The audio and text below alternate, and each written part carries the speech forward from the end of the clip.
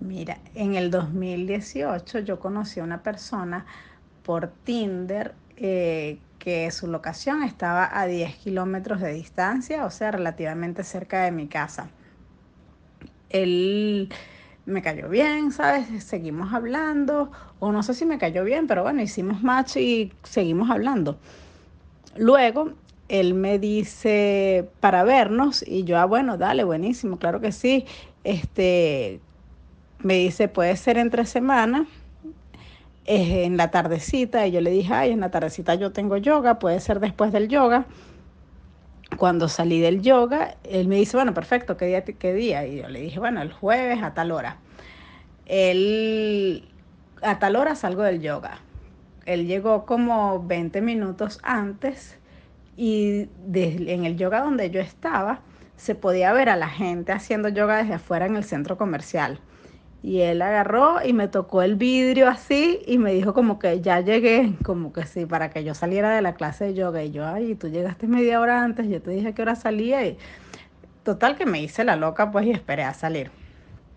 Luego cuando salgo, me dice, ay, te toqué el vidrio. Y yo, sí, yo sé, pero la clase todavía no había terminado.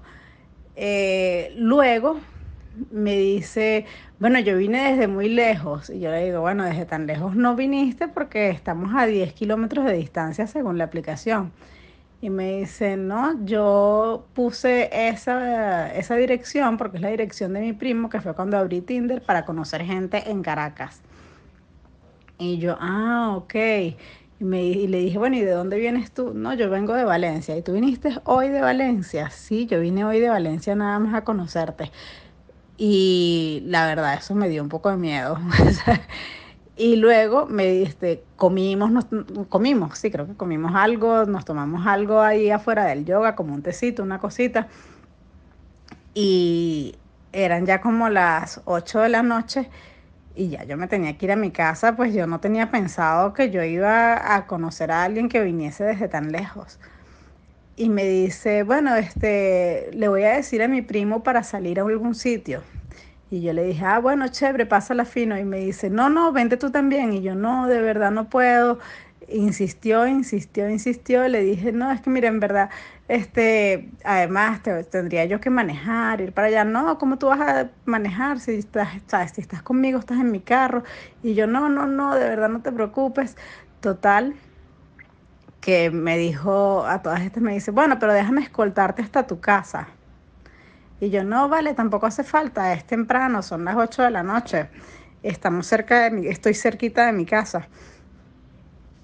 Total que le dije que no me siguiera, que no, que no hacía falta que me escoltara y me siguió y ya tenía su WhatsApp, su teléfono, pues, y le dije, oye, estoy viendo que me estás siguiendo, este, no te preocupes, de verdad. Y me dijo, no, no, no, es que deja tu carro y te vienes con nosotros. Y yo, no, yo no me puedo ir a ningún lado, ¿sabes? Estoy vestida de yoga, en cholas, o sea, yo no quiero ir a ningún lado así.